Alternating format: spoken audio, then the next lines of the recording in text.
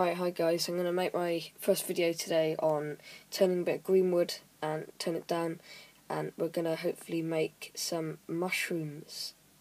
Basically, we're going to rough it out and then we're going to make it into a large mushroom shape and then we're going to sand it up and finish it up. This is today's first project.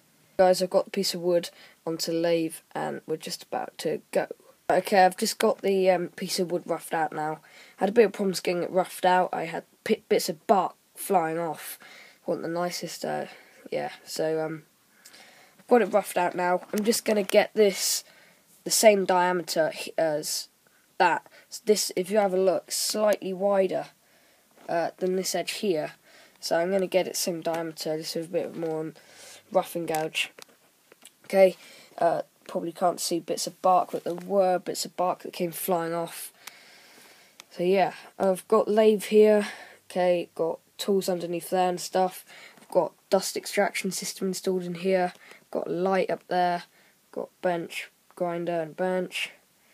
So yeah, it's pretty good. Um, I'm to get a shed soon, so yeah, it's to be a lot better. All videos are to be a lot betterly done than these.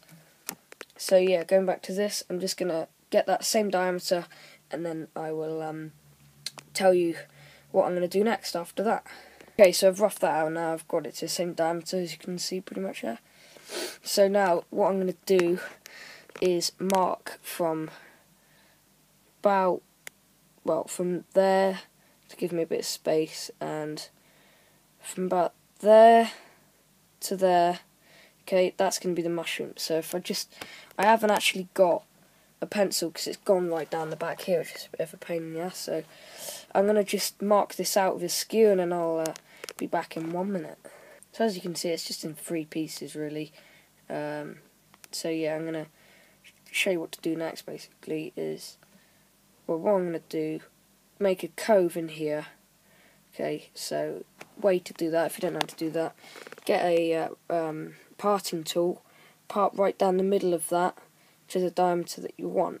And then with, I like to use a scraper, scrape down into the middle and then scrape down into the middle.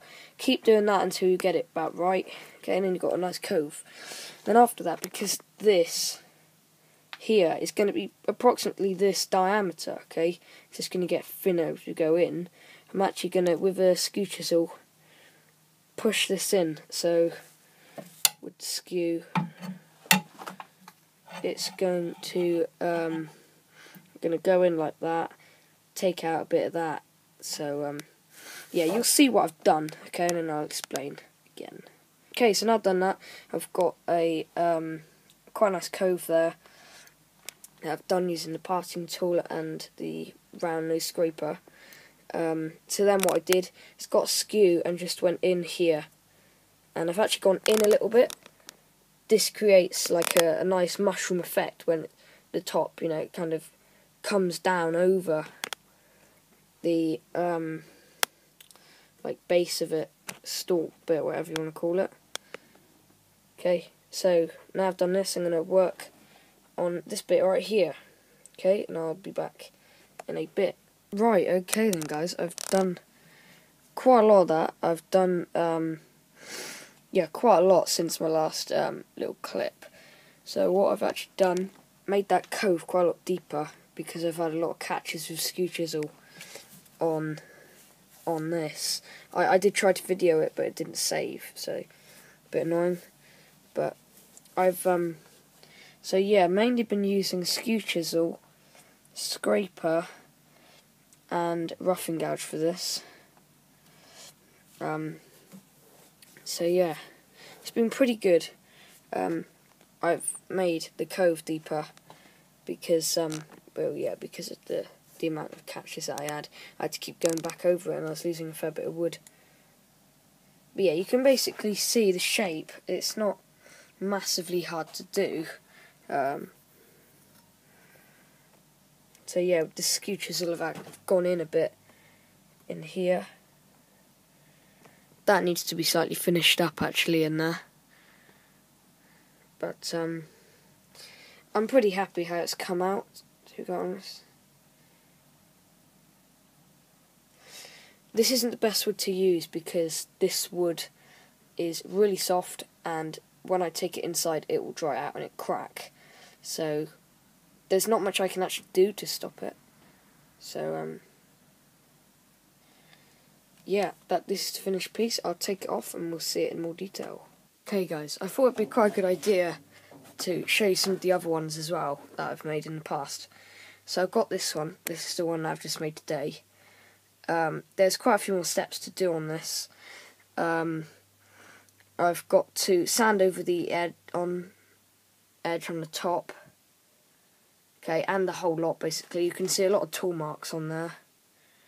Okay, next step would be well to sand it up to 320 on all of it. Okay, um, the bit that takes the most time really is sanding over the top. On this one I've sanded over the top. Same on that one. This small one, it's basically the same. You do exactly the same as what I've showed you on here basically. Um, apart from this is a lot smaller, different wood. Okay, that big one there is made out of beech, that's oak, and that is, uh, looks like beech. Okay, so, um, yeah, finished up with shellac.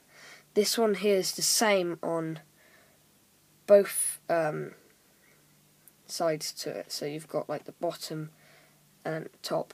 You can probably see on this one, and this one even, that the top is darker. Now that was something I just made up. I thought it looks quite good. So I've put um, more shellac on the top than I have on the bottom. I think actually even on the bottom I haven't actually put any shellac, I've just put some wax on there, beeswax. So yeah, that takes quite a lot of time to sand it all up. And finishing it takes quite a lot of time, you've got to do in quite a lot of sessions. To get it really good you need quite a few coats. This, I really like this one, it's like a magician's hat or something. It's quite different and say to that one and that one and that one. This one is pretty bad. I was basically just trying to show you how to make it. That is, you can see here that goes in a bit. On real mushrooms, if you have a look, the top like goes over the bottom bit. So yeah, don't know what that is, but getting a bit flooded anyway. Okay, so um, videos that are going to be coming up soon are going to be a lot more high quality than this one. Um, going to actually see me turning as well, because I'm going to get some people to film it, because I can't film myself um, turning, so I'm going to get some people to do it, so you can actually properly see how to make it, and it's hopefully going to be a lot more enjoyable for you as well. So yeah, that's basically how to make a basic mushroom my way. Okay, thanks for watching guys. I really do appreciate it. Please subscribe and to get more videos and um, yeah, please comment as well. I'll get back to you, I promise as well. So um, yeah. Yeah, I'll see you guys next video.